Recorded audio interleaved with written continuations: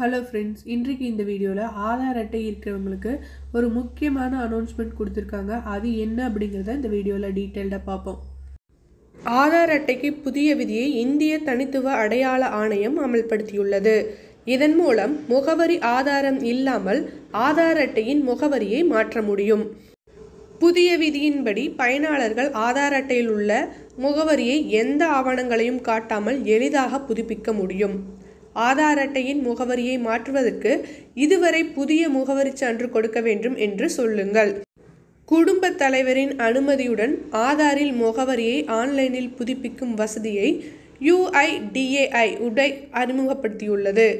ஹெச்ஓஎஃப் அடிப்படையிலான ஆன்லைன் ஆதார் முகவரி புதுப்பிப்புக்கு குடியிருப்பாளர் தனது குழந்தை மனைவி பெற்றோர் ஆகியவரின் முகவரியை அங்கீகரிக்க வேண்டும்.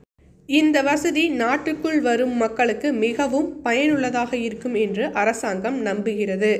பதினெட்டு வயதுக்கு மேற்பட்ட எவரும் ஹெச்ஓஎஃப் ஆக இருக்க முடியும் என்பதை உதை உறுதி செய்துள்ளது. ஹெச்ஓஎஃப் என்பது ஹெட் ஆஃப் ஃபேமிலி ஆகும். இதில் உங்கள் முகவரியை உங்கள் உறவினர்களுடன் பகிர்ந்து கொள்ளலாம். ஆதார் கார்டில் உங்கள் முகவரியை அப்டேட் செய்ய முதலில் நீங்கள் my Aadhaar dot UIDAI dot G O V dot என்ற வெப்சைட்டுக்கு செல்ல வேண்டும்.